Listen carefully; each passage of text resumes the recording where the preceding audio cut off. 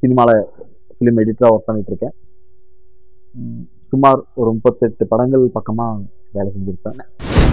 நைன்டிஸில் இருந்த மிகப்பெரிய அத்தனை இயக்குனர்கிட்டையும் நான் ஒர்க் பண்ணியிருக்கேன். பிரேம் அஜித் ஸ்ரீ ஸ்ரீ ஐயப்பனும் பாபரும் சொல்லி ஒரு மலையாள படம். நேஷனல் அவார்டு எடிட்டர் அவர். அவர் பரத் சார் படங்கள்லாம் எடிட்டர் எடிட்டரோட அசோசியேட் டேரக்டர் அசோசியேட் எடிட்டர் இன்னொருத்தர் இருக்கார். அவருக்கு அசிஸ்டண்ட் அவருக்கு அடுத்து இருக்கிறவர். அவர் வந்து என்ன என்னை பார்த்துட்டாரு நான் இந்த மாதிரி ஃபிலிமை சுரண்டி ஒட்டுறேங்கிறத பார்த்ததுக்கு அப்புறம் அவர் பின்னால வந்தவர் எனக்கு தெரியாது. இந்த காலர் பிடிச்சி இழுத்து நான் அப்படியே சூளோட கீழே விழுந்து என்னை காலில் எட்டி உதைச்சு அம்மாவை பத்தி ஒரு கெட்ட பேரை சொல்லி வெளியே போடா. உனக்கு என்னடா வேலை? அவருக்கு சாப்பாடு கொடுக்குறதா அவனுக்கு வேலை டீ கொடுக்குறதா அவனுக்கு வேலை. நீங்க வந்து நீ ஜாயின் போடுற. எனக்கு தெரிஞ்சு இந்திய சினிமாவில் மிகப்பெரிய நாலு எடிட்டர்ஸ் நான் ரொம்ப ரசிக்கிற எடிட்டர்ஸ் அவங்க. நாலு பேர். யாருன்னு சொல்லிட்டுங்களா? நான் சொல்லியா ஒன்று பாரதி ராஜா ஒன்று பாலு மகேந்திரா. ஒன்று மணிரத்னம். இன்னொன்று ஆபவான் சார்.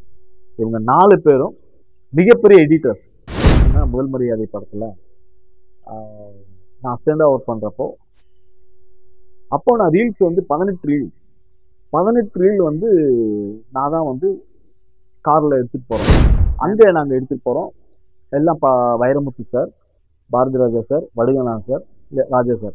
இவங்க நாலு பேர் தான் தேட்டரில் உட்காந்து உள்ளே உட்காந்து படம் பார்த்துட்டு இருக்காங்க. முடிஞ்சு வெளியே வந்தது பிறகு ராஜா சார் எதுவுமே பேசல. அப்படியே எழுந்து லாபியில் அப்படியே நே- நடந்து போயிட்டு இருக்காரு. டைரக்டர் வந்து பின்னாலே போறாரு. பயங்கர டென்ஷனாக சீரியல் டக்குதான் அடிச்சுன்னா அப்போ சித்ராஜ்குமார் சார் வந்து அவர் தான் கோ இருக்கிறப்போ அப்போ. சித்ரா சார் வந்து ஒரு பேடை கொடுத்தாரு. பேடை கொடுத்து எதுவும் டவுட் கேட்டாரு. டவுட் கேட்ட உடனே பேடை வாங்கி விட்டு எறிஞ்சாரு. விட்டு எறிஞ்சு அந்த பேடை அப்படியே சுருண்டு போய் வேற வேற இடத்துல விழுந்துச்சு. சார் வேலைய. அந்த எல்லாம் மறண்டு போய் அப்படியே பார்த்தாங்க. என்ன சார்? ஏன் சார்? நான் என்ன சார் இந்த படத்துல தப்பு பண்ணேன்? சொல்லுங்க. இந்த படத்துல என்ன தப்பு பண்ணேன்? எத்தனை கோடி கொடுத்தாலும் கிடைக்காது. ஏன்னா முதல் முதல் இந்தியாவில் மோஷன் கண்ட்ரோல் கேமரான்னு சொல்லிட்டு அறிமுகப்படுத்தினது கமல் சார் தான். அந்த படத்தில் தான். அவங்க நான் கமல் சாரை திட்டுறேன் திட்டிட்டு அவருக்கு ஒரு லெட்டர் எழுதணும்னு சொல்லிட்டு எனக்கு ஒரு பெரிய இதாக இருக்கும் மறுபடியும் படம் வந்து அசிஸ்டன்ட் டேரக்டராக ஒர்க் பண்ணுறேன் படம் ஃபுல்லாக ஒர்க் பண்ணியாச்சு.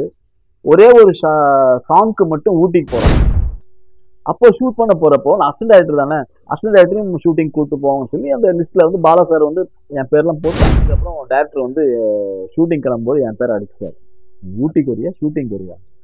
இங்கே வேலை இருக்குது அந்த வேலையை பாருங்க அப்படின்னு சொல்லிட்டு எனக்கு நான் கூட வரும்போது இந்த ஹோட்டல் ப்ளூ ஹில்ஸ் ஹோட்டல்ல இருந்து அவர் படிக்கட்டுலேருந்து இறங்குறாரு. அவர் இறங்கவும் நான் வரவும் நேரம் ஆயிடுச்சு. என்னை பார்த்துட்டு ஏய் நீ எதுக்கு இங்க வந்த? உன்னை யாரா கூப்பிட்டா? ஏய் பாலா எங்க இருக்க? வாங்க கூப்பிட்டு இதே சத்திரம் நினைச்சியா? அப்படின்னு பயங்கரமா கத்தி தபார் இன்னும் ஒரு மணி நேரம் டைம் தரேன். போயிடணும். இருக்கவே கூடாது. ஊமவெளியில் படம் வந்து என் வாழ்க்கையில மிகப்பெரிய ஒரு மாற்றத்தை ஏற்படுத்தும் ட்ரைலர் ஒன்று பண்றாங்க. அந்த ட்ரைலர் இதுவரைக்கும் இந்திய சினிமாலேயே இல்லாதபடி ஒரு பெரிய இம்பேக்ட் கொண்டு மிக்சிங் வந்து ஆக்சுவலாக ஒரு படத்தோட மிக்சிங் வந்து மேக்ஸிமம் டூ டேஸ் இல்லைன்னா த்ரீ டேஸ் தான். ஆர்ஆரே வந்து ஒரு மூணு நாள் முடிச்சிடுவாங்க ராஜா சட்டை கொடுத்தீங்கன்னா ஒரு மூணு நாள் ஆர்ஆர் பண்ணிடுவாங்க. ஆனா இந்த படம் ஆர்ஆர் மட்டும் ஒன்றரை மாசம் மேல பண்ணாங்க. Thirty five days forty days பக்கமா ரீ ரெக்கார்டிங் மட்டும் பண்ணாங்க.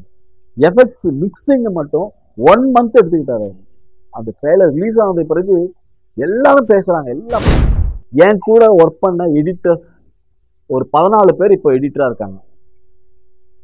என் கூட ஒர்க் பண்ண பதினாலு பேர் எடிட்டரா இருக்காங்க.